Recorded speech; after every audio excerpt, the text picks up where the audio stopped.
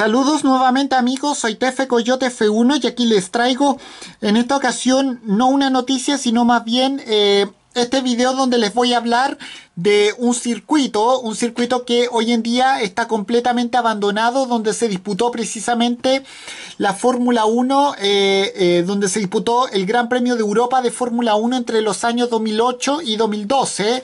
Y bueno, y con esto quiero iniciar una serie de videos donde les voy a hablar de circuitos abandonados del mundo. Eh, que alguna vez fueron sede de, eventos de la Fórmula 1. Bueno, hoy les voy a hablar del circuito urbano de Valencia. Eh, y bueno, eh, bueno, mientras vaya, vaya, mientras vaya eh, hablando de este circuito voy a presentarles a la vez imágenes que encontré en este sitio que se llama elmundo.es.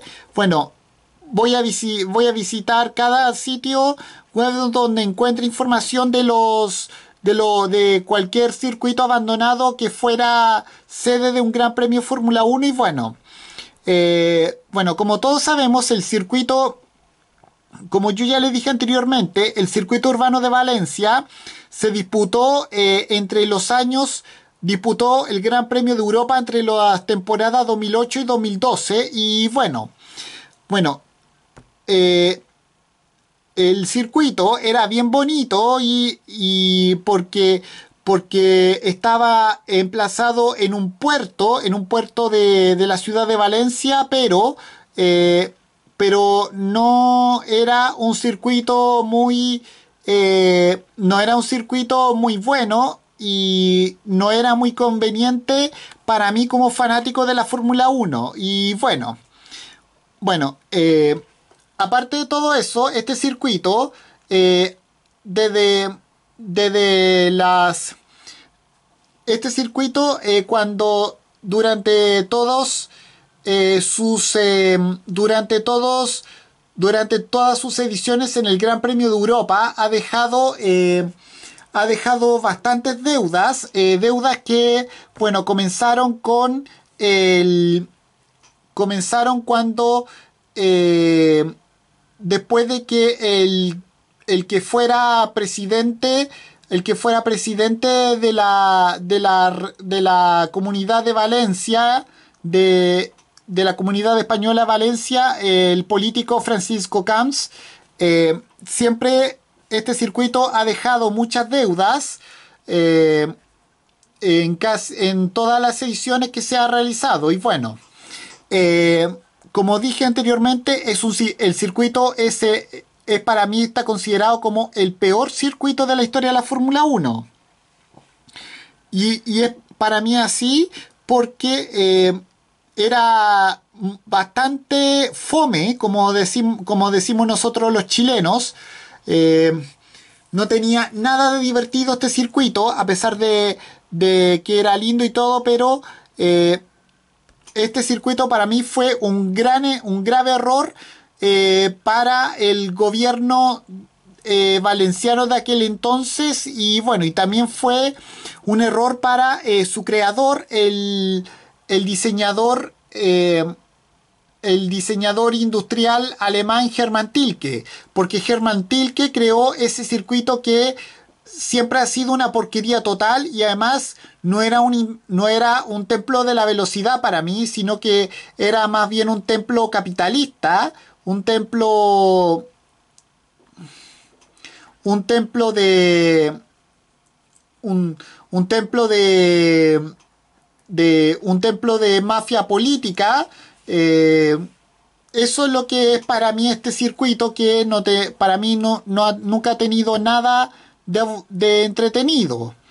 Y bueno, eh, bueno, la única edición buena que tuvo, la única edición, eh, la única edición buena que tuvo este circuito fue la última, la de 2012, en la que en la que el, en la que el ganador fue, eh, como sabemos, el español Fernando Alonso, eh, que, que partió desde la posición número 11, que y que logró su triunfo eh, después de una gran remontada. Y no solamente eso, el podio de esa carrera también fue de esa única carrera buena que tuvo este circuito.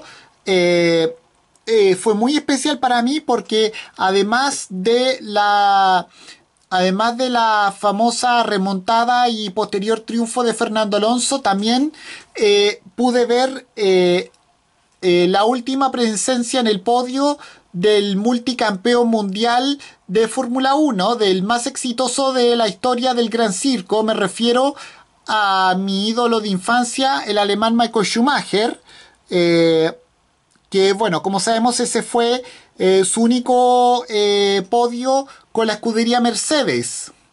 Y bueno, también esa para mí es la única, eh, esa fue la, para mí la única edición buena que tuvo este circuito.